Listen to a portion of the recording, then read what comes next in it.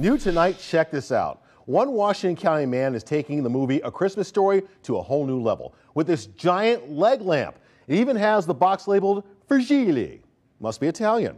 The lamp and box, of course, part of a popular scene from that movie. Matthew Pugich built the 20 foot tall display all by himself. I build weird and unusual Halloween decorations, Christmas decorations, so why not a leg lamp? And it's my daughter's first Christmas, so we went big.